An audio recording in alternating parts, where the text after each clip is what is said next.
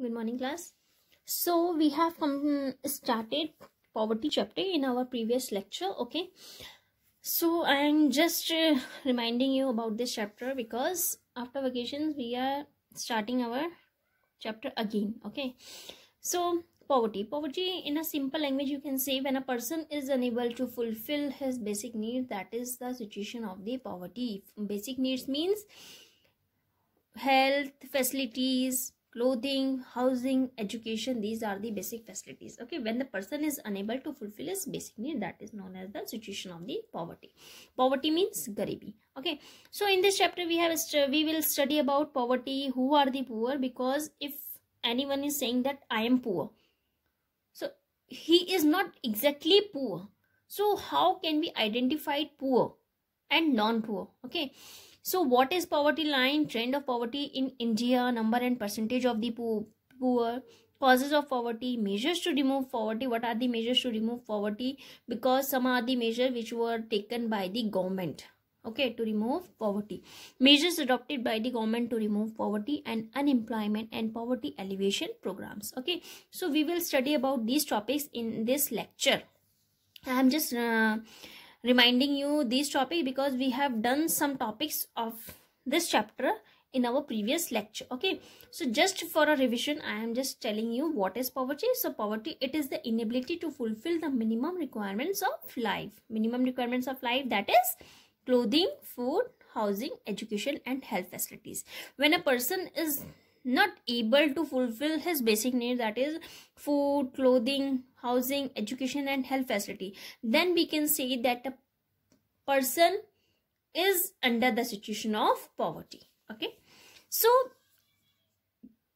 poverty has two variants. Variants um, of poverty are two. There are two variants of poverty that is relative poverty and absolute poverty but the main poverty is absolute poverty because relative poverty means it is used in the terms of comparison. When we are going to compare the poverty uh, or something else okay so when we are comparing then we can use relative poverty but absolutely we use we are using absolute poverty okay? We are we study about absolute poverty because this is the main part of the poverty okay so what is relative property and absolute property सी है सी ये देखो. Relative poverty it refers to poverty across different classes countries और you can say region ठीक है? मैंने आपको बताया comparison के बेसिस पे होता है. द कंट्री और class level of income is low is as poor की कौन सी कंट्री कि कम लो ऑफ़ इनकम है तो वहाँ को पुअर करना है, कहाँ का नहीं करना है। रिलेटिव पॉवर्टी को हम हमेशा इंटरप्रेट करते हैं in terms of inequality income with in the country क्योंकि हम कंपैरिजन करते हैं। अगर सपोज़ मैं आपको कह रही हूँ कि ए है पर्सन उसकी ten thousand rupees per month income है, और मैं कह रही हूँ बी की fifteen thousand per month income है, ठीक है? तो दोनों को मैंने कंपेयर किया कि ए की इनकम जो है लेस है किससे?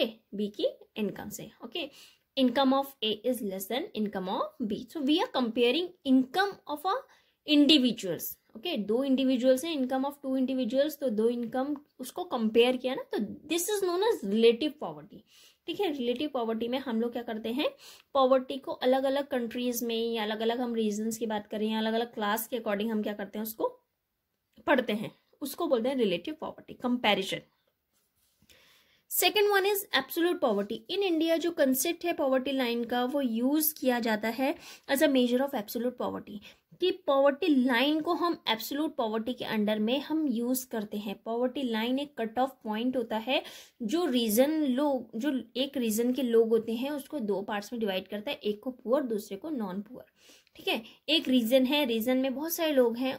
पॉवर्टी लाइन जो है एक कट ऑफ़ पॉइंट होता है कि अगर इससे ऊपर है तो वो नॉन पुअर है, उससे नीचे होंगे तो पुअर होंगे। ठीक है तो वो कट ऑफ़ पॉइंट क्या है?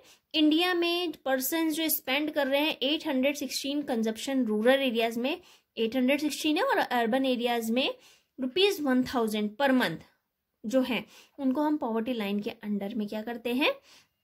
यूज़ करते हैं पॉवर्टी लाइन के नीचे उनको मानते हैं। Based on the new official poverty line अगर हम की बात कर रहे हैं 2011 और 12 में पॉवर्टी रेट इंडिया में एस्टिमेट हुआ है 21.9 percent okay so this is the relative poverty and this is the absolute poverty okay अच्छा क्रॉनिक पुअर एक वर्ड आता है कि क्रॉनिक पुअर कौन होते हैं? Who are chronic poor I will tell you about all types of poor because poor are also of various types ठीक है ना? अलग अलग पार्ट्स में उनको डिवाइड किया गया है। तो मैं आपको वो बताऊँगी। लेकिन क्रॉनिक पुअर वो होते हैं person who never move over the poverty line जो कभी पॉवर्टी लाइन से ऊपर बढ़ ही नहीं पाते हैं। सिर्फ़ पॉवर्टी लाइन तक ही रहते हैं वो, कभी उस ऊपर होते ही नहीं है। तो उनको क्रॉनिक पुअर कहते हैं मतलब हमेशा के ही पुअर है वो। ठीक है? इसके बाद नेक्स्ट आता है पॉवर्टी लाइन पॉवर्टी लाइन क्या होता है? देखो poverty line it refers to a cut off point होता है। Which divides people of a region as poor and non poor अगर मैं आपको कह रही हूँ कि पर कैपिटा एक्सपेंडिचर जो है फिफ्टीन हंड्रेड पर मंथ है, उसको हमने कट ऑफ़ पॉइंट लिया कि भाई फिफ्टीन हंड्रेड तक देखना है। अगर उससे ऊपर होगा तो नॉन पुअर है, उससे नीचे होगा तो नॉन पुअर है। तो देन दो surviving on the monthly expenditure on less than fifteen hundred जो कि फिफ्टीन हंड्रेड से कम है, उसको हम पुअर लेंगे। और जिनका फिफ्टीन हंड्रेड से ज़्यादा है तो उसको नॉन पुअर लेंगे। ठीक है ना? तो कट ऑफ़ पॉइंट क्या हो गया इसमें? फिफ्टीन हंड्रेड तो पॉवर्टी लाइन क्या है मेरी? फिफ्टीन हंड्रेड तो जो परसेंटेज है लोगों की, जो बिलो पॉवर्टी लाइन है, उसको हम हेड काउंट रेशियो बोलते हैं और you can say poverty incidence ratio okay it can be termed as head count ratio और पॉवर्टी इंसिडेंस रेशियो फाइन इसके बाद हमारा नेक्स्ट आता है, जो हमारा मेन पार्ट आएगा, इसमें आता है हमारा कॉजेज ऑफ़ पॉवर्टी पॉवर्टी के कॉजेज क्या क्या होते हैं? ठीक है? कॉजेज ऑफ़ पॉवर्टी देखो पॉवर्टी की जो मेन पार्ट्स होते हैं कॉजेस में तो अलग अलग दे रखे हैं, लेकिन जो हमारा मेन होता है, वो होता है हाई प्रेशर ऑफ़ पॉपुलेशन की बहुत ज़्यादा पॉपुलेशन है। पॉपुलेशन ज़्यादा है, ठीक है? पॉपुलेशन ज़्यादा है, यानी कि जो हमारी सोर्स ऑफ़ इनकम है, वो तो लिमिटेड है, लेकिन जो नंबर ऑफ़ पर्सन है एक फैमिली में, वो तो बहुत ज़्यादा है। तो लिमिटेड इनकम तो सो लेकिन जो नीड्स होंगी, वो तो बढ़ती रहेंगी, क्योंकि मेंबर ज़्यादा है फैमिली में। तो वो क्या है? हम फुलफिल ही नहीं कर पा रहे हैं उनकी नीड्स को, ठीक है? तो एक मेन तो ये कारण हो गया कि हैवी प्रेशर है पॉपुलेशन का। Population day by day increase होती जा रही है और आपको पता है कि जब पॉपुलेशन इंक्रीज हो रही है तो अनएम्प्लॉयमेंट की सिचुएशन क्रिएट हो रही है, ठीक है ना? अनएम्प्लॉयमेंट की सिचुएशन क्रिएट हो रही है क्योंकि लोगों, इतनी जॉब्स अवेलेबल नहीं है जितनी पॉपुलेशन है। ठीक है? तो एक मेन पॉइंट हो जाएगा आपका कि हैवी प्रेशर है पॉपुलेशन का। Second you can say unemployment unemployment बहुत ज़्यादा है। अनएम्प्लॉयमेंट ज़्यादा है, लोगों को जॉब नहीं मिल रही है। जॉब नहीं मिल रही है तो वो अपनी बेसिक नीड्स को पूरा नहीं कर पा रहा है। ठीक है ना? तो यानी कि ये सिचुएशन से भी क्या क्रिएट हुआ? पॉवर्टी इसके बाद you can say inflation inflation हो रहा है। इन्फ्लेशन मतलब महँगाई बढ़ती जा रही है, बढ़ती जा रही है, बढ़ती जा रही है। अब महँगाई बढ़ रही है जो नेसेसरी आइटम्स हैं, अगर एक पुअर भी है, अगर एक नेसेसरी आइटम्स है, उसको खरीद रहा है। देखो रिच को तो कोई फ़र्क नहीं पड़ रहा है, चाहे प्राइस इंक्रीज हो रहे हैं, चाहे डिक्रीज हो रहे हैं, लेकिन जो पुअर है, उसको इफ़ेक्ट पड़ रहा है। ठीक है, उसकी इनकम पे इफ़ेक्ट पड़ रहा है। ठीक है ना? जो उसका एक्सपेंडिचर उस पर इफ़ेक्ट पड़ रहा है। कैसे जो उसको नेसेसरी आइटम्स है भाई, खाना वगैरह तो नहीं छोड़ सकता। जो ठीक है, उसकी और जो डिजायरस विश है विश हैं, उसको तो वो छोड़ सकता है कि भाई वो सोचा है अगर मैंने बाइक लेनी है तो सोचेगा, यार, बहुत खर्चा हो गया है तो मैं इस महीने ना लेके बाद में लूँगा। ठीक है ना? लेकिन जो नेसेसरी आइटम्स है, जो खाने पीने के उसके खर्चे हैं, वो तो नहीं कम कर सकता वो। ठीक है? तो उसको तो करने के लिए अगर प्राइस बढ़ रहे हैं किसी चीज़ का तो उसको तो चाहे वो शुगर का ही अगर मैं बात करती हूँ, चाहे वो फोर्टी पहुँचे, चाहे वो फिफ्टी पहुँचे, लोग खाना तो नहीं छोड़ देंगे, चाय पीना तो नहीं छोड़ देंगे ना।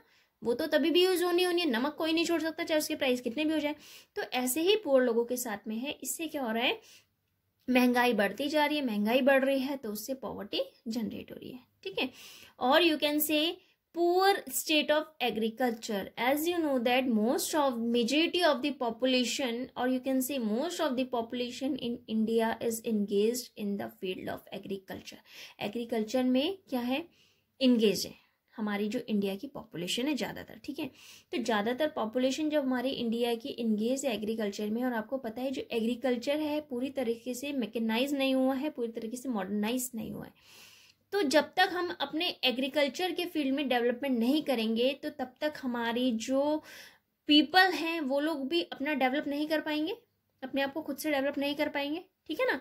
तो इससे क्या हो रहा है? इससे भी पॉवर्टी की सिचुएशन क्रिएट हो रही है। ओके और you can say that high literacy rate literacy rate जो है, बहुत ज़्यादा है।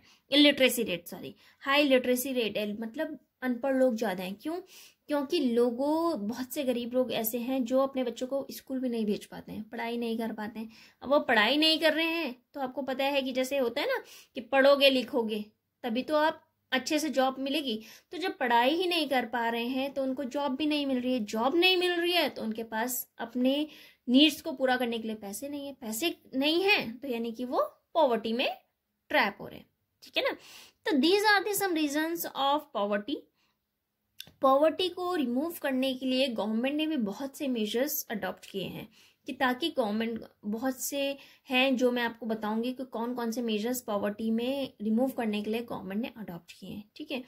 तो यहाँ तक पहले आप इसको क्लियर करना, ठीक है? इसको बहुत इजी है। कि आपको जो है cause of poverty you can write in your own words also just think about it and then you can write in your own words okay this is very easy chapter so this is the main key causes of poverty हमारे क्या होते हैं, ठीक है ना?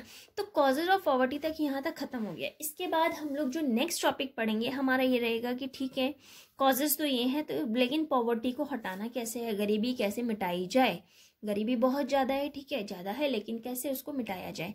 तो इसके लिए कुछ गवर्नमेंट ने मेजर्स लिए हैं, कुछ हमारी क्या क्या हम कौन कौन से मेजर्स हैं जो गवर्नमेंट ने अडॉप्ट किए हैं to remove poverty okay so now